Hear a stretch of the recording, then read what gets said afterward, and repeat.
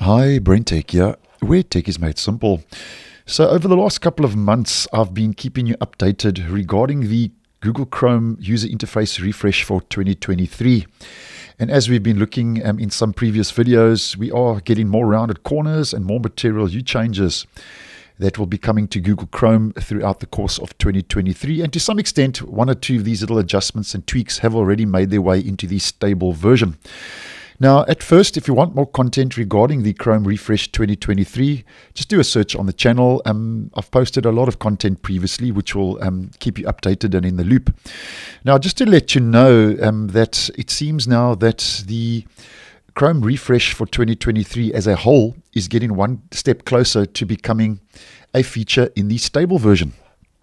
Because I've noticed earlier today in Google Chrome Canary, version 115, which is the latest preview version, that they have now moved the experimental flag and have now placed it as a featured experiment in the actual uh, experiments that's part of the uh, toolbar uh, in the Chrome Canary version, the preview version of the browser.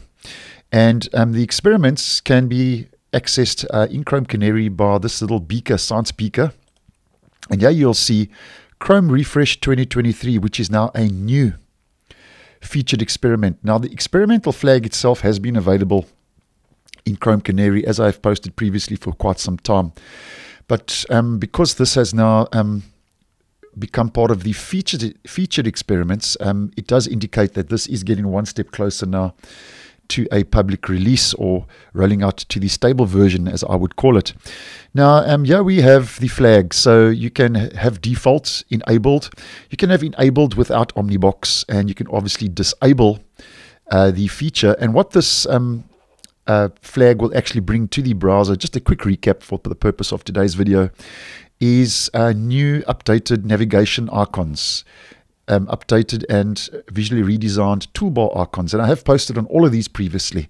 As another example, if we head to the menu, we get a different layout with um, a reordering of some of the actual um, um menu items. Uh, we get these little icons next to each entry, which are not available in the stable version. We get some other um, features available uh, in the menu, like Google Password Manager, Translate. Um, there's been a reordering of some of the components as mentioned, and that's just a brief overview. We get uh, more rounded corners on some of the menus, extra padding and layering between the actual menu entries, and so on.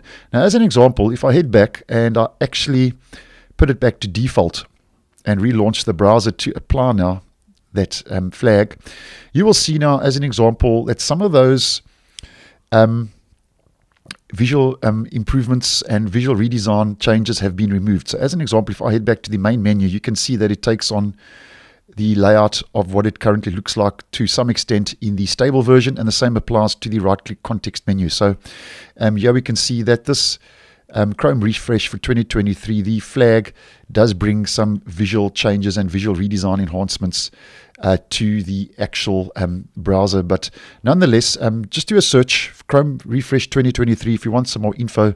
But as mentioned, the fact that it's now part of the featured experiments is a good indication that the flag and the actual feature as a whole is getting closer to becoming a feature in the stable version. So thanks for watching, and I will see you in the next one.